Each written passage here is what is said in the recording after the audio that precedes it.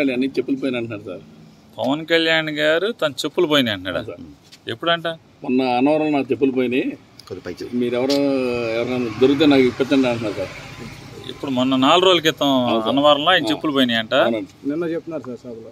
నిన్న సభలో మీటింగ్లో ఎప్పుడు మొన్న పదమూడో తారీఖు పోతే నిన్న చెప్తున్నాడా? సార్. నిన్న పదహారో తారీఖు. చెప్పులు పోయిన మూడు రోజులు. ఆయనకి పదమూడో తారీఖు చెప్పులు పోతే నిన్న గుర్తుకొచ్చింది నిన్న పదహారో తారీఖు. గుర్తుకొచ్చినాయి. సరే నేను పదమూడు పోయిన చెప్పులు ఇప్పుడు ఎత్తుక్కుంటుంటే ఆ అక్టోబర్ పద్ పంత పద్దెనిమిదో తారీఖు రాత్రి పోయినాయి అక్టోబర్ పద్దెనిమిది పంతొమ్మిదో తారీఖు.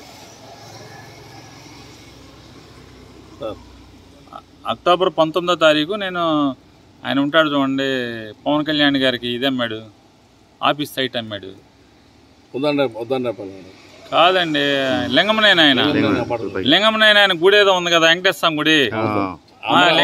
అమరావతి దగ్గర లింగంనే ఆయన వెంకటేశ్వర స్వామి గుడికి అక్టోబర్ పద్దెనిమిదో తారీఖు పదిహేడు తారీఖు వెళ్ళాను. ఓ చెప్పు పోయింది.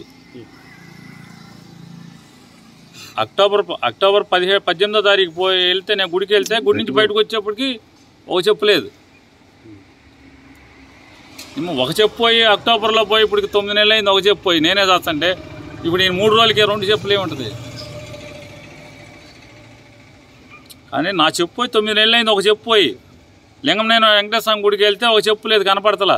ఎవరిని చెప్ప ఎవరిని అనుమానిస్తాం? ఎదురుకుండా ఈయన ఆఫీస్ ఉందని చెప్పి పవన్ కళ్యాణ్ అనుమానిస్తామా? మనం అటు అనుకోలేం కదా. నా ఒక చెప్పు పోయే తొమ్మిది నెలలు అయింది మరి ఆడు ఒక చెప్పుతో ఏం చేసుకుంటాడు మరి పట్టుకెళ్ళి నాకు తెలియదు తొమ్మిది నెలలు అయింది పట్టుకెళ్ళి. మరి మూడు రోజుల క్రితం రెండు చెప్పులు పోతే ఈ కంగారే ఉంది. ఏం పోయిన చెప్పులు కొంటాళ్ళు ఏమని పవన్ కళ్యాణ్ గారు? అలా అట్ట కాకుండా పవన్ కళ్యాణ్ గారి ఆయన చెప్పులు పోతే మూడు రోజుల తర్వాత కంగారు పడుతున్నాడు. అది చెప్పులు పోవటం కంటే కూడా అసలు పవన్ కళ్యాణ్ గారు చెప్పేది అయ్యా నీ సింబల్ పోయింది గాజు గ్లాస్ సింబల్ పోయి చానాలైంది చెప్పులు పోతే ఈ కొన్నోడే మళ్ళీ ఇంకోటి కొంటాడు ఇవాళ ప్రొడ్యూసర్ ఇంకో ఇంకో ఇంకోటి కొత్త సినిమా ఒకటి కొంటాడు. రేపు సినిమాకి ఆల్రెడీ రెడీగా మేము సినిమాలు ఇక్కడే తీసుకుంటాను మొన్న వచ్చి వెళ్ళారు కదా. కొబ్బరికాయ కొడతాకి ఈయన గోతులో దిగి పూజ చేస్తే. ఆడు ఎవడొకడు కొంటాడు.